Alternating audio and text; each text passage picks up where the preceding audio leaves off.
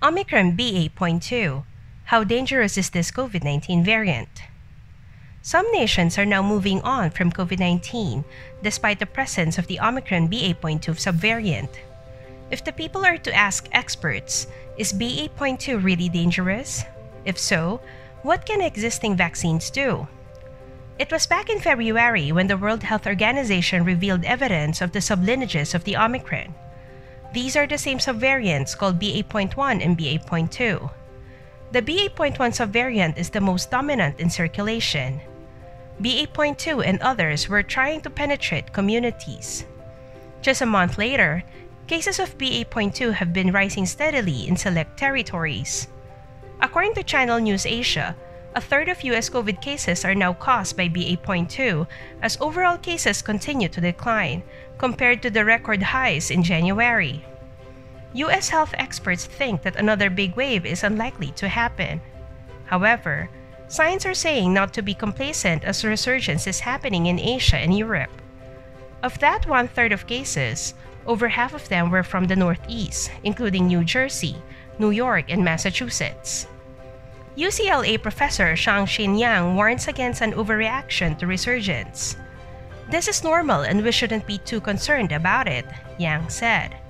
But people who haven't received their vaccines should go and get them. BA.2 won't have a problem sending the unvaccinated to hospitals, and the outcome from that is horrific to families and medical professionals. If you're curious about the differences between BA.1 and BA.2, Yang has some insights for you. First, the difference is extremely small between the original Omicron or BA.1 and its sister BA.2. Second, yes, BA.2 is more contagious than BA.1, but not as scary as imagined. Yang clarified that BA.2 was actually detected during the first appearance of Omicron in early December. However, three months into the Omicron wave and it only accounted for 25% of cases. This is quite slow for a slightly more contagious variant attempting world domination. Third, the ability to cause disease between the two is about the same.